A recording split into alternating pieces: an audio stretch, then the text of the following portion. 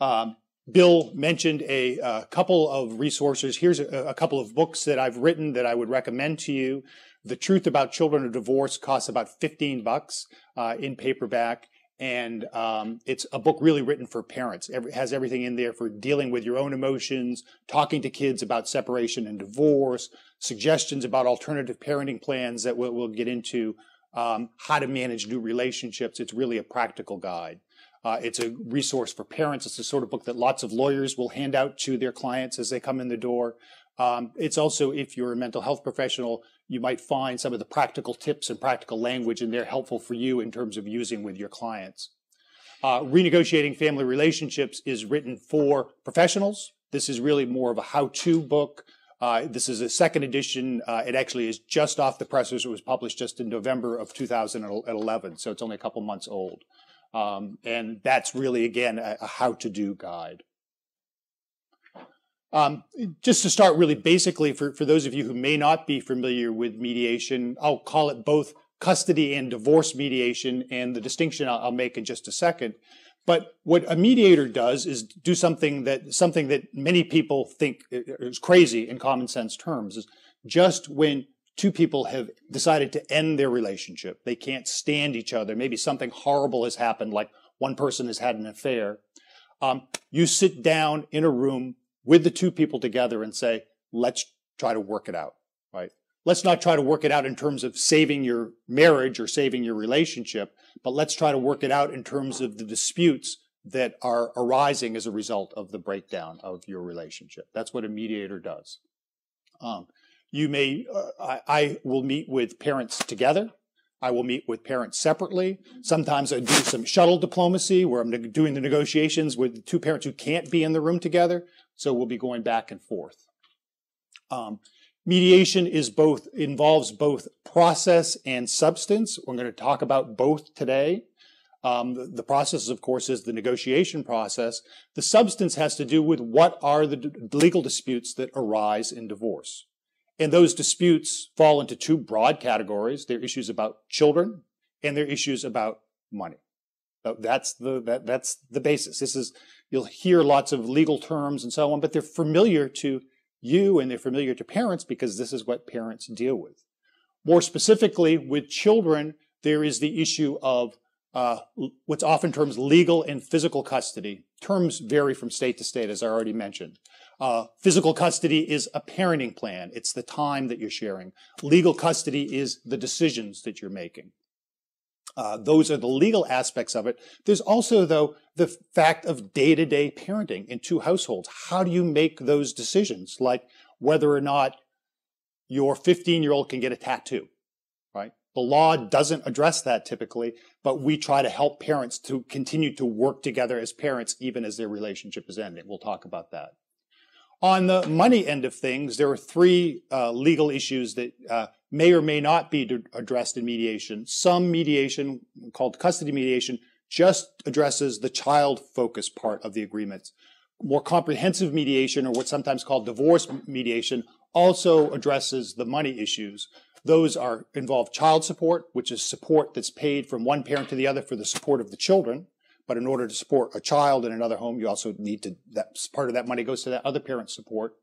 There's alimony or sometimes called spousal support. That's an income transfer that goes to support the spouse. Um, and then uh, there's property division. That's dividing up the things that you own.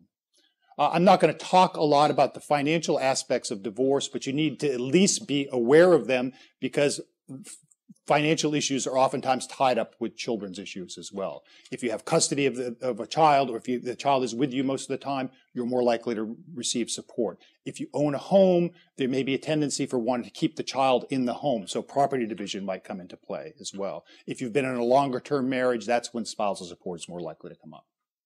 Again, we'll talk, this is just a very brief introduction, we'll talk more about this. Um, a mediator facilitates, a mediator does not decide. Um, my what I am mediating, um, I have no authority. I guarantee, and most mediators guarantee confidentiality of the process. There's exceptions to that that I'll, we'll talk about in a second. But my sole power when I'm sitting down with two divorcing parents in the room is to bring them to an agreement on their own that they enter into voluntarily. um, usually with the outside review and support of independent attorneys as well. Um, mediators in their style, just like psych- psychologists differ in their styles. Some mediators are more um, uh, reflective, more Rogerian for the mental health professionals. That's oftentimes referred to as uh, facilitative mediation, uh, just using a lot of reflection, encouraging the parties to talk themselves, not guiding them a lot. Others are what's sometimes called more evaluative. The mediators are more directive, they'll make suggestions, and so on. My personal style tends to mix the two. I, I try to facilitate, but with 30 years of experience, I'm not shy about giving advice and recommendations and uh, and sharing uh, ideas. But again, it's only advice and recommendations. It's not in, in order.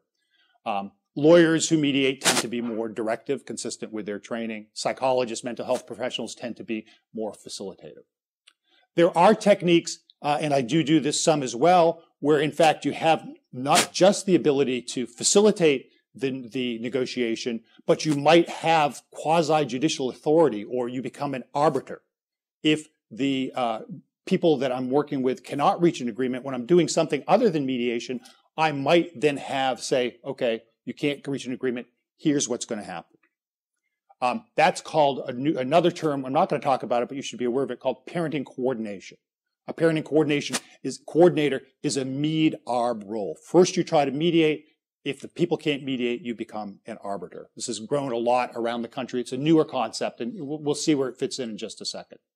Uh, as I mentioned, in general, mediation is confidential. Um, I, if people can't reach an agreement in mediation, the matter goes before a judge. Pardon me.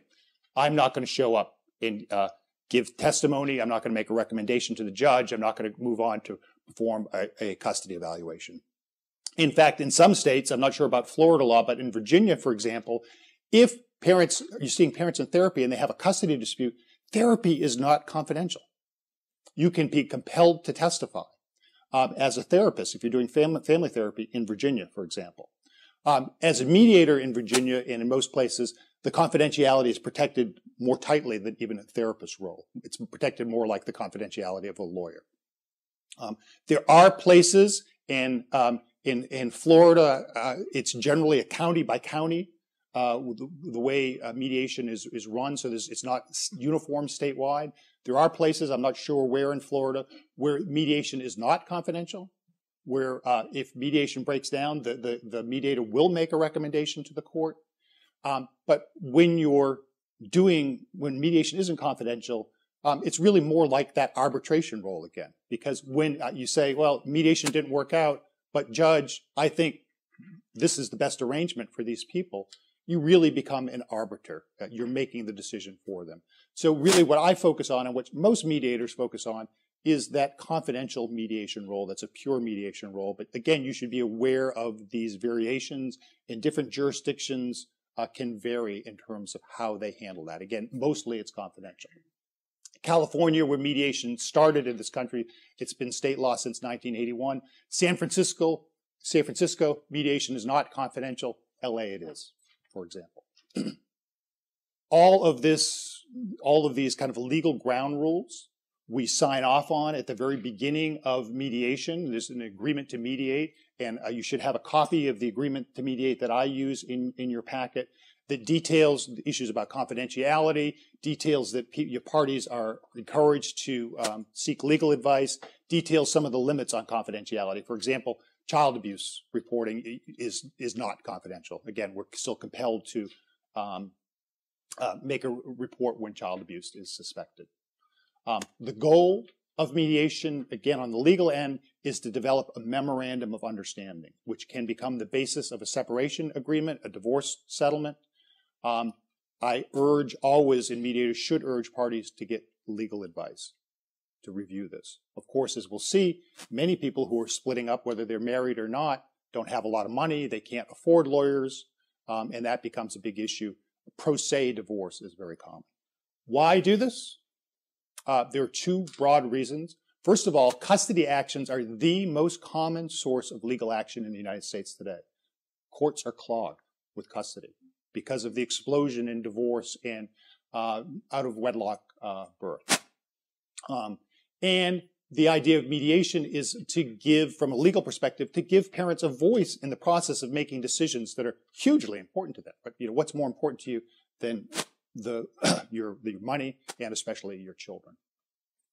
From the perspective of children, the, uh, the broad rationale is mediation can, as we'll demonstrate, does um, help children. Right? Uh, there's all sorts of evidence that what um, best predicts positive outcomes for children in divorce are things like the absence of conflict between parents, or at least the absence of conflict around you, having a good relationship with at least one parent, and hopefully a good relationship with both of your parents. and as I'll talk in this opening part of, uh, of my presentation, uh, I'll show you in my randomized trials that in fact mediation does produce those benefits even 12 years after uh, the disputes. Here is just to give you a, a, little bit of the landscape of where mediation falls in all of this. There are um, many different ways to work with divorce disputes, right? Again, because this is the biggest category of legal action. Courts are clogged. Let's try to keep these cases out of court. Uh, more and more people recognize that if parents can work out these issues themselves, it's better for them. It's going to be better for children. It's, it's going to be better for their family. Right? Families living apart, is still a family. Um, I mentioned briefly pro se divorce or negotiating at the kitchen table. Really, about uh, half of all people who split up work things out themselves. Um, there is divorce education. I believe divorce education is mandatory in uh, Florida. It is in many states. It, before you can go to court with a legal action concerning kids, you need to attend. Sometimes it's a two hour, sometimes it's a four or six or an eight hour program. Again, that can vary from jurisdiction to jurisdiction about mainly about how divorce is going to affect your children. And again, we're using the term divorce, but you don't necessarily need to be married to be in a situation like this. Um, then there's mediation. Uh, collaborative law is a new approach in the law, new meaning 10 or 15 years old in the law. This is where lawyers sign on to an agreement and they say, I'll represent you, but I'm going to settle this out of court. And as a matter of fact, I'm going to work so hard to settle this out of court that we all agree that if I can't, if the lawyers can't settle this out of court, we're not no longer going to represent you. Right? We're not going to represent you in court. You're going to have to get a new lawyer. It's a way for the lawyers and for the parties to have an incentive to negotiate cooperatively. And there's more things involved in that, but that's not what we're talking about. There's typical attorney negotiations. Most cases are settled in this way. Uh, custody evaluations. Um, I don't do custody evaluations. Many people spend a great deal of time evaluating what alternative arrangements are going to be best for kids, and that's the law here. Guiding principle is children's best interest. Some people view those as a form of assessment. I really view those as a form of dispute resolution because, again, the recommendation an evaluator makes is almost like the role of being an arbiter. Judges almost about 90% of the time, judges follow the recommendations of a neutral, of a neutral custody evaluator. Um, and there's even techniques called early neutral evaluations where you kind of do a mini evaluation. You say, this is what I think would happen if you went to court. Do you want to settle now? Which kind of shows the settlement technique of it. Uh, retired judges will offer mini trials. There's full custody hearings. And then there's this idea of parenting coordination, which I mentioned briefly, which is a Med-Arb rule. I put it at the bottom of the dispute resolution funnel because parenting coordination is generally for high conflict repeat litigators. So I'm working with uh, a family now where I'm serving, where I started off trying to mediate with them. This this family has two boys. Um, they've now spent three hundred thousand dollars in legal bills. They've been to court at least half a dozen times in the last year and a half. Right. Um, they've finally got the financial aspects of their divorce almost worked out, but they continue to fight about their kids. So I've they they just can't work it out. So I've gone from the role of working with them, trying to settle things, is I still try to help them to settle things like the dad right now wants to change the schedule around a little bit to fit better with, with his work situation. I try to help them to mediate that. If they can't agree on a change, I then make a decision for them. Right? That's the sort of people who are generally working with parenting coordinators, those high conflict divorces. Uh, those decisions are always subject to appeal. They can bring them uh, back to, to a judge. But until they do and they sign on to this, I'm the judge. Um, and just to bring a little data to this, this is one study, one of the best studies that's been done of divorce disputes in our courts. It was done in a California court. Uh, I've met, since met the judge whose court this was conducted in. He trains all the judges in California now. Len Edwards is his name. And just shows you that, in fact, empirically, most divorce disputes are settled in a way that's consistent with that funnel that I just drew, with the wide end, most cases being settled at the wide end of the funnel and fewer and fewer settled at the narrow end. So that in this, half the cases settled with an uncontested divorce, uh, 30% were negotiated with lawyers, another 11% were settled in, in California's mandatory mediation program. Um, another 5% were settled after custody evaluation, which is again part of why I look at custody evaluations as a dispute resolution technique and only one and a half percent of cases were actually decided by a judge. Right? So these, I, I, sometimes think of these as successive filters to try to get p- parents to settle disputes on their own, to get cases out of the legal system. All these different techniques. The statistics, courts in our country keep terrible statistics. This, that's about the best we have. Um, first, I want to get into talking about um, my research on this. So uh, oh, I guess it was about 20 years ago, uh, I started doing research on mediation. I've been doing this for about 30 years. Um, and I thought, let's study it. Um, I've done one of the few randomized trials of mediation and litigation. In my study, parents petitioned the court for a contested child custody hearing, and I had a judge that would let me randomly assign cases at the flip of a coin, cases either went into a brand new mediation program, which was, was the second program that existed in the state of Virginia at the time, or they proceeded through court. So it's a true randomized trial. Um, for those of you who aren't graduate students, um, randomized trial lets you determine cause and effect, right? It is a true experiment. So when we get to the results of this study, I'll be able to say mediation caused this difference. It's not correlation, it is causation. Uh, really important. Um, also, a, a, distinguishing aspect of the study, nobody has done this. We follow these families over the course of 12 years. So we get to answer the question of when mediation ends, when parents are divorcing, they're going their own ways, mediation doesn't end happily. Those of you who are mediators know that, right? Mediation is often, if it's successful, it's often very sad at the end because the family has, has split up. Um, but the question is, is that I always say to myself, what I'm doing is I'm helping this family launch a trajectory that's going to have benefits for the parents and for the children down the road. And the 12 year follow up lets us have a look at whether, in fact, that does happen. So let me tell you a little bit about uh, my study. Again, random assignment. Um, we ran this as an initial study and a replication, so there was a built-in replication in the study. And I'll talk some about other research that's been done on mediation, but I'm going to focus on my own work. That's what I know the best. And there really, again, there haven't been many randomized trials in this area.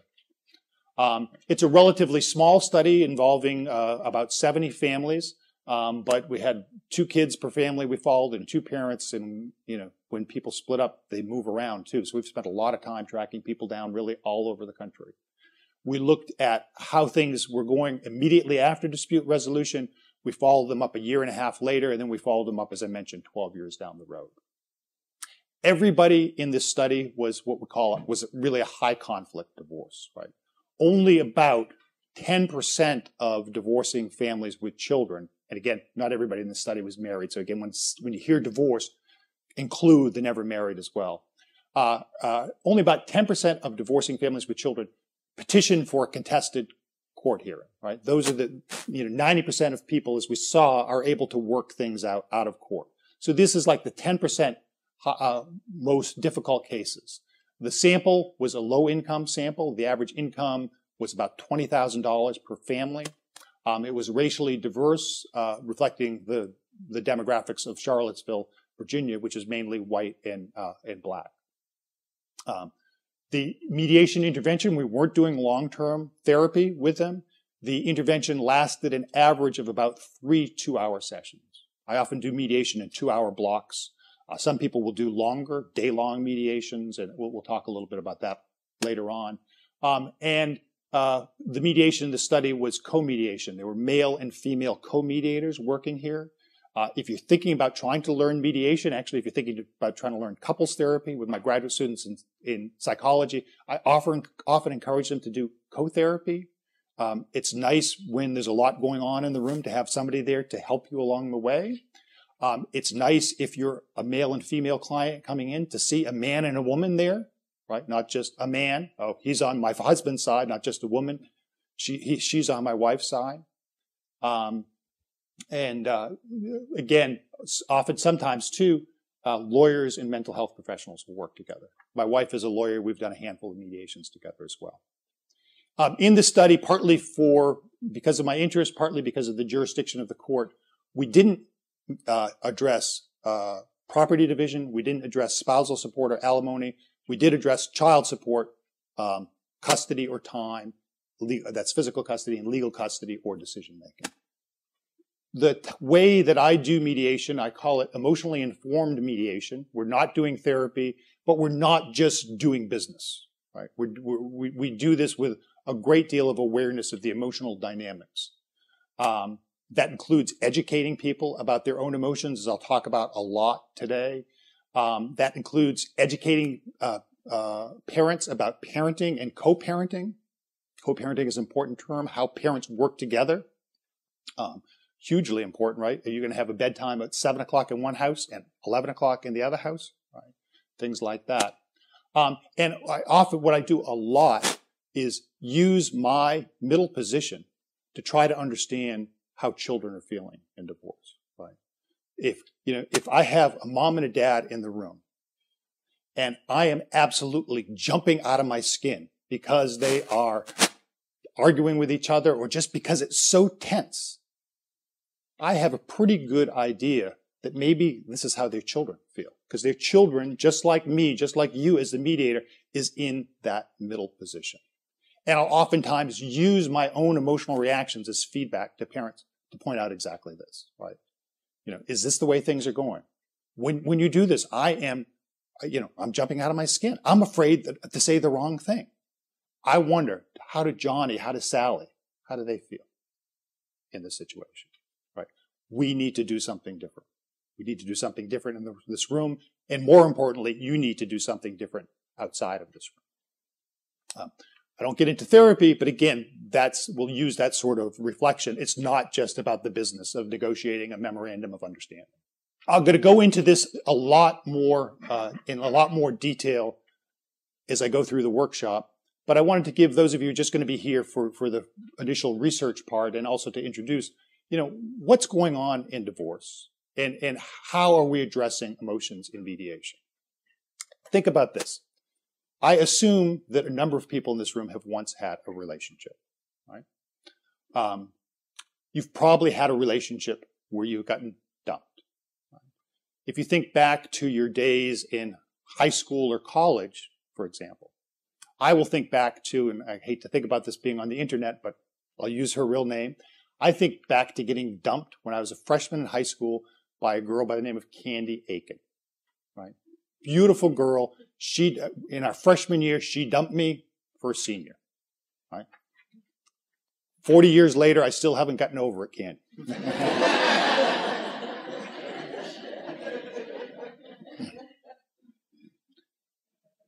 when Candy dumped me, and I think this is probably true for most of you, I didn't say to her, Oh, goody, let's sit down and talk about it. Let's mediate, right? I said, You no good. And things maybe I don't want to be live on the internet. A string of swear words. I never want to see you again. That's the normal, the natural, the emotional way to end a relationship is I never want to see you again. Right? Um, that's what goes, goes on in divorce? Parents who are divorcing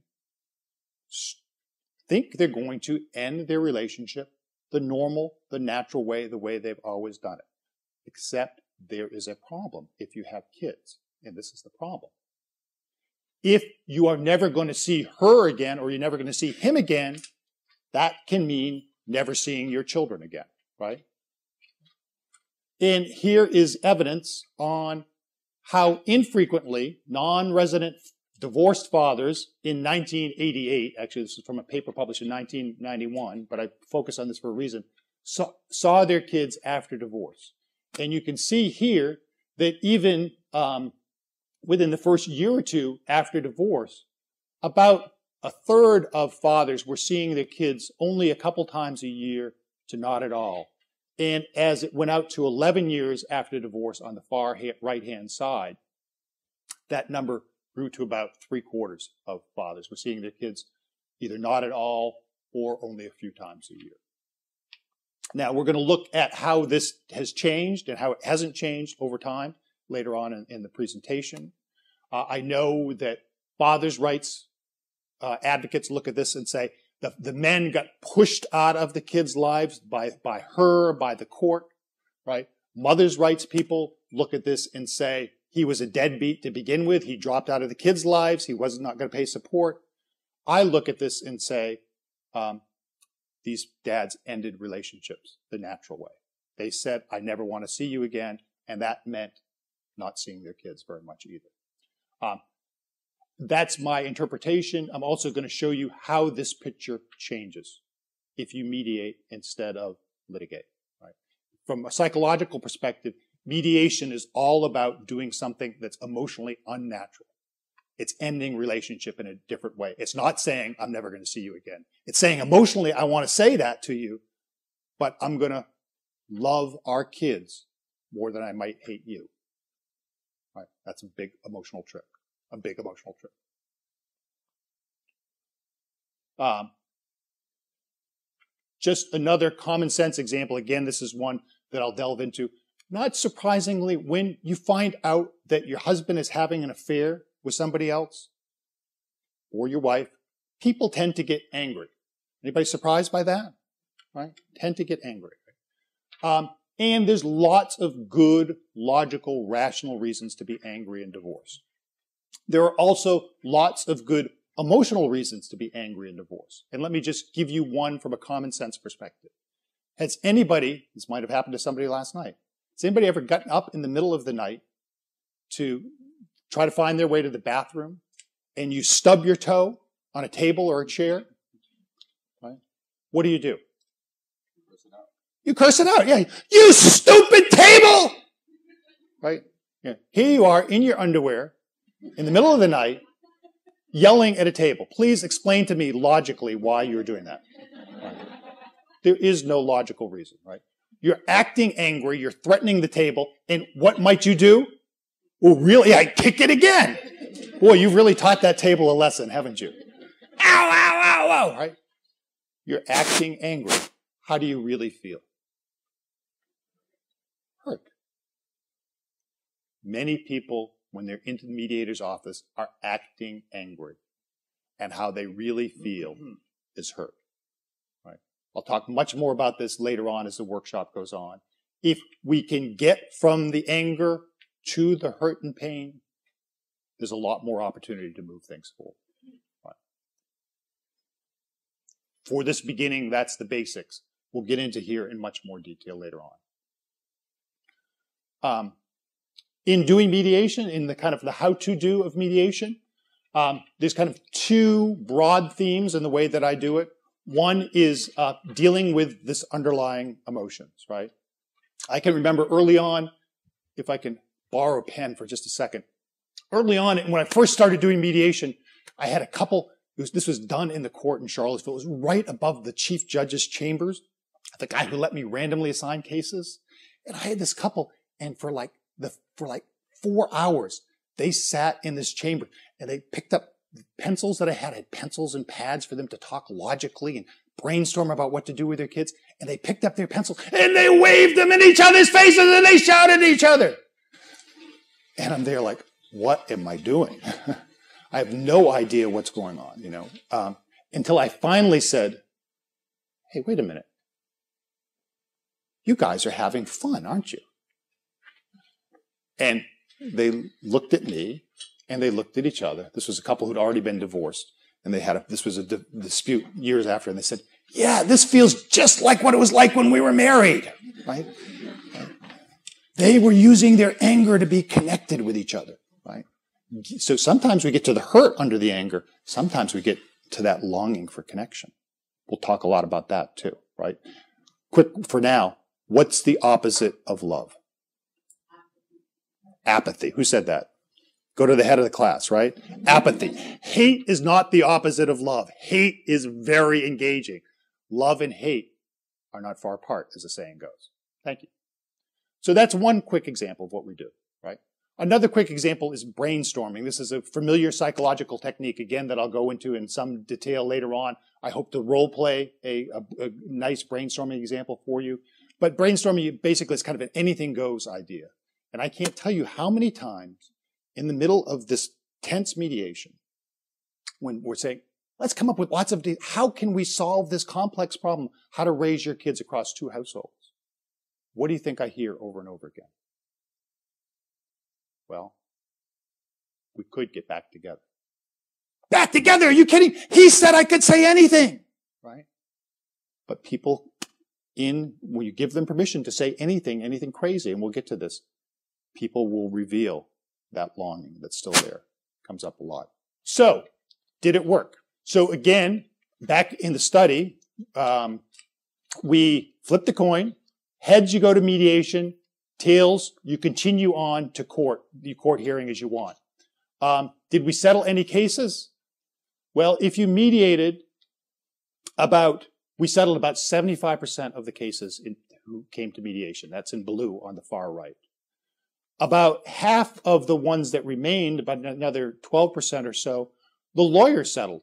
After mediation didn't work out, but the lawyers settled, it kept it out of court. And sometimes that's the outcome of mediation is you, you don't settle all the issues, but you narrow the issues. You get people ready to, to settle. Only about 15% of cases actually appeared in front of a judge. If the coin came up tails and you went to court, again, at random, 75% of those cases appeared in front of the judge. Okay. This is not, I mean, that outcome is not just statistically significant. Um, that passes a, a, statistical test that Dave Cross, who used to teach uh, statistics at Stony Brook, uh, would call the interocular trauma test. Right? Those are results that are so big that they hit you right between the eyes. Interocular trauma test, right? Lots of people are kept out of courts. And this is a good thing from the perspective of judges, right? And as we'll see, it's a good thing for families too. Um, did we reach what do the, our agreements look like? The, the, the quick punchline, there's two quick punchlines. Uh, I don't won't go into the agreements in great detail. Uh, two things about our agreements. The agreements we reached in mediation did not look much different from the agreements that were reached in court. Um, the one thing that was different, it was there was more joint legal custody in the mediated agreements. When this study was done in the late 1980s, joint legal custody was a really new and kind of radical idea. There was no legislation in Virginia that spelled out what joint legal custody was. But like lots of things in divorce, uh, having joint custody was symbolically important, particularly to the dads uh, in, in, here. And it's true, it was true then, and it's tr- still true now. A lot of times, people who do mediation are looking, thinking out of the box. They're not just acting the way, staying within the legal box they're inventing new terms or not using terms at all that that uh, that parents can relate to much more. So they'll talk about things like parenting plans or just decision making and time, as opposed to these custody labels. Um, the other thing is that to keep in mind is is a broad summary of what our arrangements looked like back then.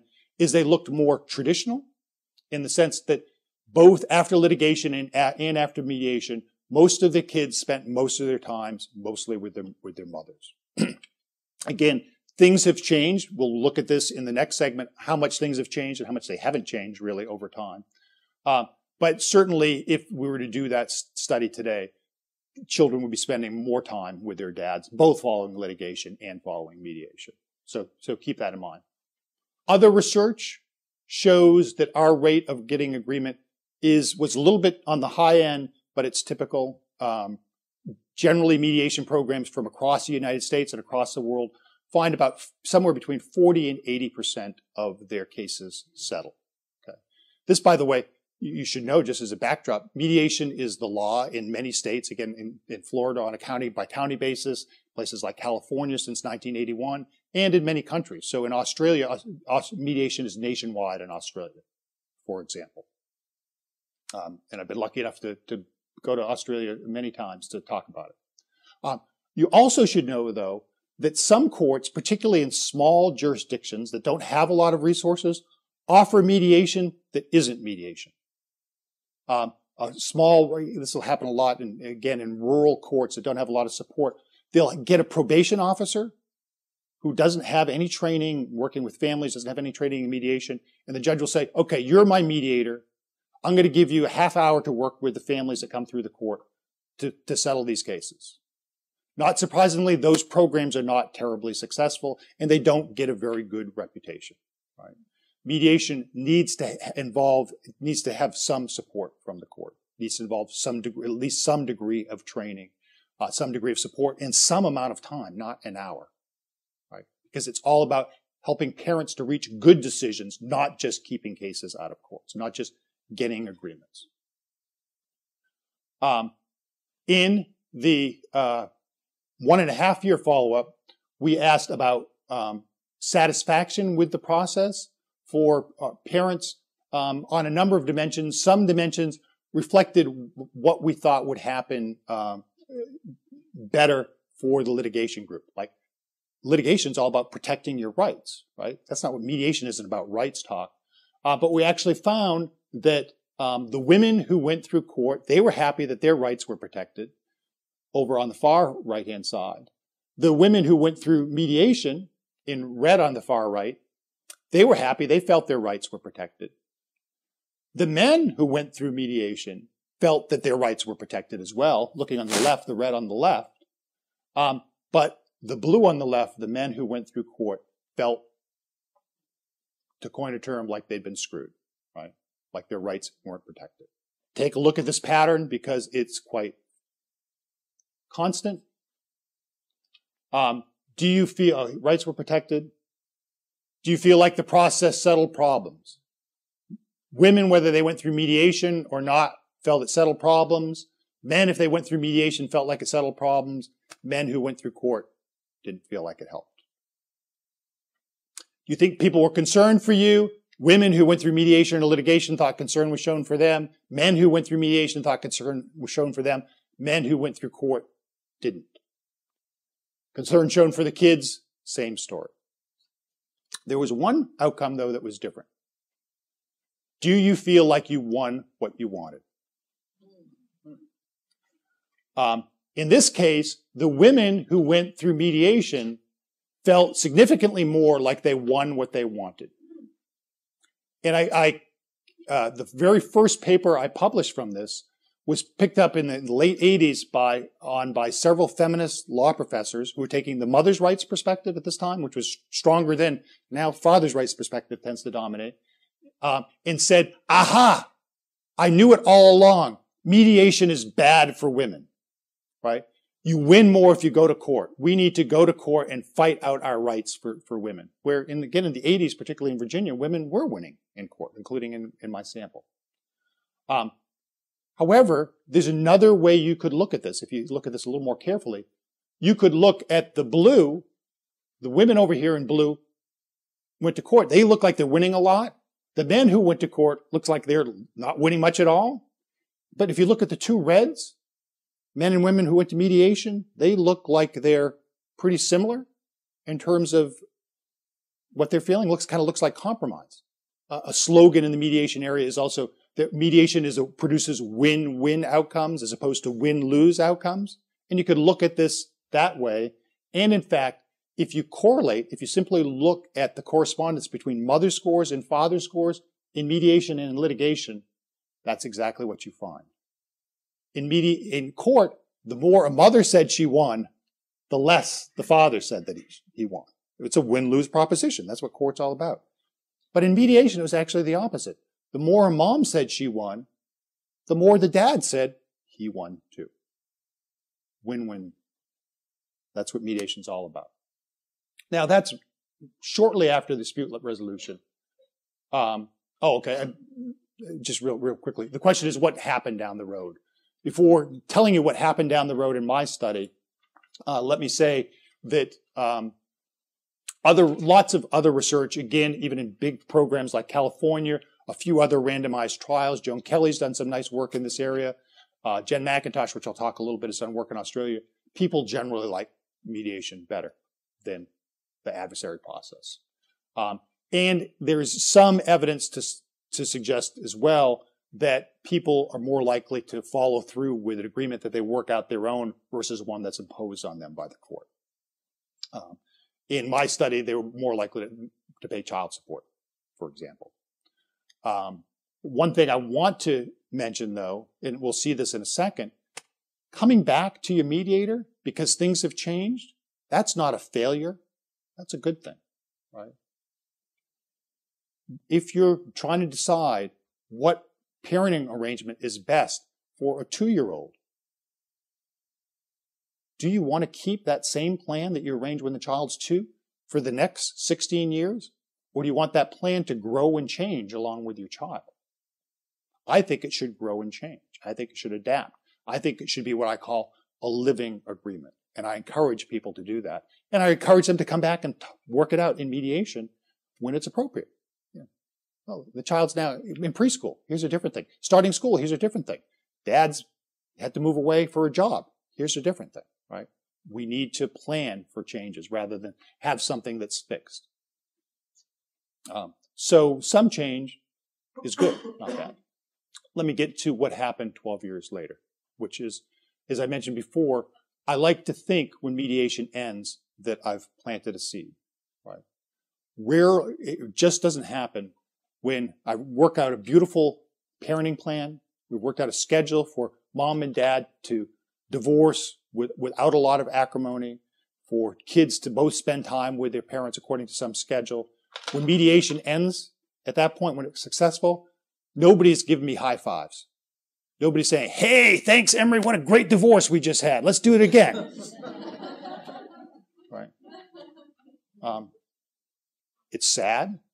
People are still hurt and angry, right? We don't work all that out. The question is, though, is do we set them off on a different trajectory? Um, and that's why I wanted to do this long term follow up. And the answer is yes.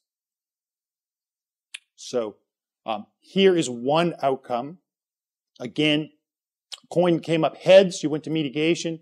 Tails, you went to litigation. 12 years later, if the coin came up uh, heads and you went to mediation, 12 years later, about 25% of non-residential parents, mostly but not exclusively dads, were still seeing their child one time a week or more, compared to 7% if the coin came up tails and you went to litigation. We tripled the rate of weekly contact between non-residential parents and their kids. That uh, bar in orange is just the data from that national sample from a comparable period of time that I showed you uh, just a second ago, from how often nationally people, fathers were seeing their kids 11 years after divorce. Um, at the opposite end here, if the coin came up heads and you went to mediation, only about I say only, this is still a lot, but only about 20% of fathers were seeing their children one time a year or less 12 years later. Um, that compared to about 40% if the coin came up tails and you went to court. I mean, we have all kinds of programs designed to promote and encourage fathers' relationships with their children after divorce. Um, six hours of mediation was tripling the rate of weekly contact and having the rate of essentially drop out of the kids 12 years later. I think that's a pretty good payoff on six hours investment of your time? Um, now, of course, as kids grow older, time passes, as kids grow older, some dads are moving away, some kids are moving away, kids are going off to school and living on their own. So seeing your child face to face is uh, harder. So we asked about telephone contact as well. Um, this was in the pre-texting uh, email days, so it was just telephone contact. Um, but now the numbers are truly big. If the coin came up heads, you went to mediation. 12 years later, six hours of mediation, half of those non-residential parents were talking uh, on their phone to their child every week, every week, compared to about 10% if the coin came up tails and you proceeded, went to court. Right. Five times the rate. And again, there are some parents who are non-residential parents who aren't talking with their kids hardly at all, but much, much lower than those who went to court. So non-residential, again, mostly fathers stayed much more involved with their kids. Uh, 12 years later, six hours of mediation. Not only were they more involved, but they were better parents, according to who? Not according to their own ratings, but according to their ex-wives or ex-spouses ratings.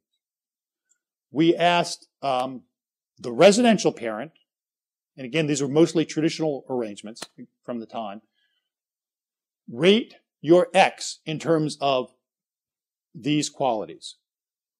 On every single one of those items uh, summarized in red, if the coin came up heads, the not the residential parent rated the non-residential parent better.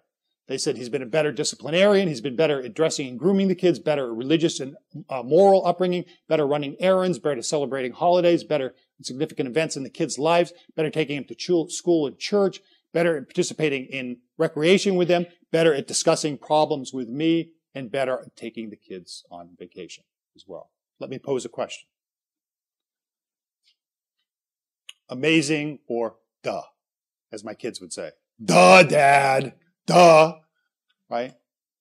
You know, on the one hand, I think these results are amazing. Six hours, come on. There's some clinical psychology graduate students here, I'm assuming, in the room. What, th- what therapy, six hours of what therapy, 12 years later, gives you not just statistically significant outcomes, but socially significant differences? Can you name one? From that perspective, six hours, five times the rate of weekly telephone contact 12 years later? That is like amazing. And sometimes I look at the study and I think, amazing. Other times I think, duh, right? Duh. If your goal is like mine is, is for even in divorce, for as much as possible, and not necessarily 50-50, we'll, we'll get into this, but as much as possible in a practical way, for kids to still have two parents in their lives? What's a better way to start this off? To say, oh, okay, let's go into court and drag out every little rotten thing I can find about you, right? Including the things we thought were secret, like, oh, see these pictures of her I have on my phone? You want her to be the mother of this, these kids, right? You don't think this happens? All the time this happens, right? Um, or do you say, look, I know you're hurt. I know you're in pain. This is probably the hardest thing that you're ever going to go through. But there's somebody else here who's hurting and in pain. And we have to put that other person's needs number one, and that happens to be your children. Let's find a way to do it. And from that perspective, it's a duh. It's a duh. Of course. Of course this leads to uh, better long-term outcomes. The logical explanation, alternative explanation, is that mediation doesn't do anybody any good. Right? But what happens is going to court and look, looking at this is so bad that that causes negative outcomes, right? And so maybe the, what re- mediation really does is prevent something really bad from happening. So it, either one of those explanations, something though is causing it. Either court, and I, in our best evidence is that it's some combination of two. That court makes things worse and mediation makes things better. So, um, and there's other things that it makes better. Um, even though there's more chances for us to fight why? Because we're both seeing our kids, right? That gives us lots of opportunity to fight. And believe me, if you work in this area, you know that lots of people fight around exchanges.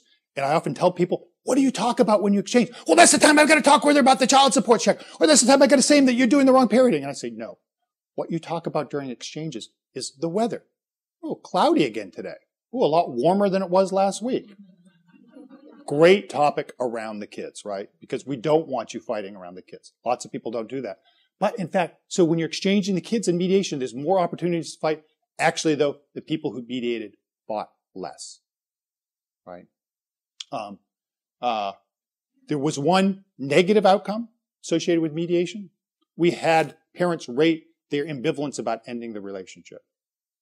Twelve years later, people who mediated said they were more uncertain whether this getting divorced had been a good thing in the first place. Um, And um, that may be because we didn't let them be as angry. Anger helps people to deal with their hurt. It also could be that over the course of 12 years, they were working together as parents and they said to themselves, well, maybe he wasn't such a jerk after all, right? But in every case, they express more ambivalence down the road. Um, as I suggested, we found that mediation led to more changes in children's living arrangement over the course of 12 years, but on average, there was only one change, right? If you think about that during the course of a kid's lives, in 12 years, I mean, how many families move one time, make a major change in a child's residence, you know, intact families, two parent families. Um, in litigation, nobody made a change, right? It's like, uh-uh, I'm not going there again, right? Um, they didn't adapt. Whatever it was at two, it was still there at 20. Or actually, not 20, at 14. Um, again, I think changes are uh, a good thing. We didn't find, honestly, I was hoping to find this, I was expecting to find this. We didn't find differences now in the late adolescents, young adults' mental health. We didn't find differences in the mental health of children on average. Although the difference, the, the differences that were there, though not statistically significant, all favored the kids in the mediation group, right? All favored the kids in the mediation group. And if you did a trick, which you can't do technically, there were four or five families in the mediation group who changed arrangements like four or five times during the course of that 12 years. It's almost like they took the message of mediation too literally. If you took those families out of the group, the differences now favored the, the mediation group statistically significantly, but then you wreck your random assignment when you do that. So you can't do that. Only do that. That's kind of an exploratory analysis. One, one more thing I want to say, and then I'll, I'll get to your question. What we also did find, though, and this is a paper we're working on right now. Again, the, the basic comparisons, there's no difference. But it's interesting. Um, lack of conflict, more involvement, better parenting, those are all things that predict child adjustment better in divorce. We produced all those outcomes in mediation. Why didn't we find statistically significant differences for the children? Maybe a power issue. We were underpowered in the study. That, that could be the, the problem. Uh, but I think it's really this. There's, this is the paper we're working on. There's two ways for people to end conflict and divorce, right? There's the normal and the natural way. I'm never going to see you again, which happened in the litigation group. There's the unnatural way Let's love our kids more than we hate each other. Let's work together. In the mediation group, parents' conflict, quality of parenting, all those things we expect predicted children's well-being 12 years later. In the litigation group, it didn't matter if you were still hated each other because one of you wasn't seeing the kids. Right? So the process, family relationships predicted child outcome 12 years later in the mediation group. It didn't predict child outcome in the litigation group.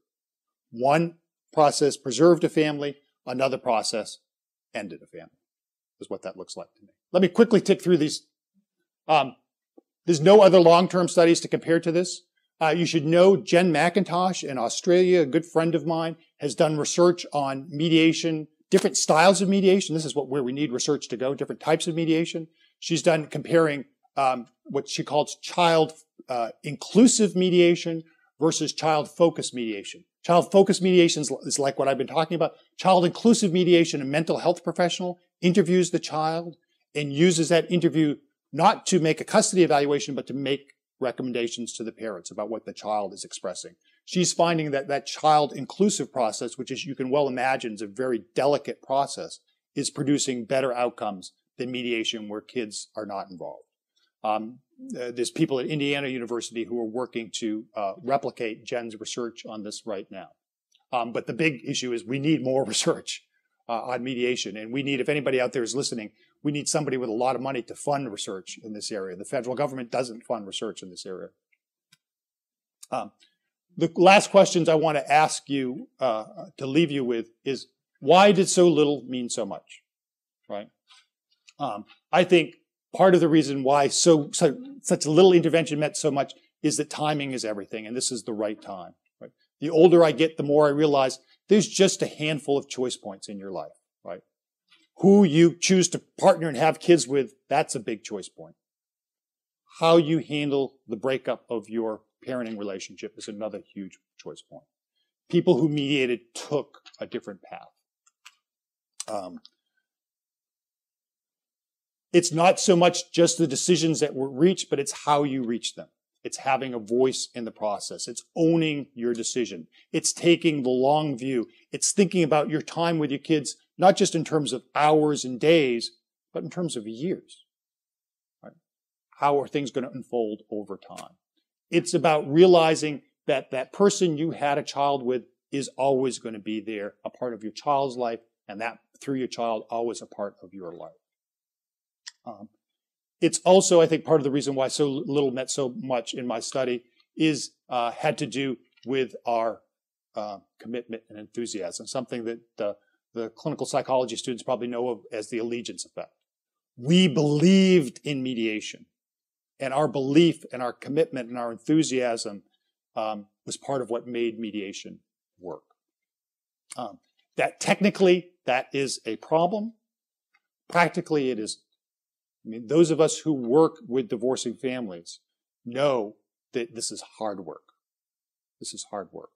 Uh, people are angry. People aren't doing, spending a lot of time thanking you. I get emails. I've gotten many emails on this trip from my clients. I don't from my therapy clients, my mediation clients, I get from them all the time. Part of what makes this work, parts of what makes it successful is being committed to saying, look, if people are going to break up as much as they do in our country, if parents are going to break up as much as they do in our country now, we need to help them find a better way. We need to be committed. We need to get renewed and re-energized and go back on Monday morning and give it 100% because we need to make this a mission. And making it a mission is part of what makes us better. Technically, it's a problem. Practically, I think it's what it's all about. It's why I got into this field to begin with. Um, it's emotionally wrong for parents, but for us, it's the right thing to do. And if you think I've been making this up, here are the papers that have been published for a long time.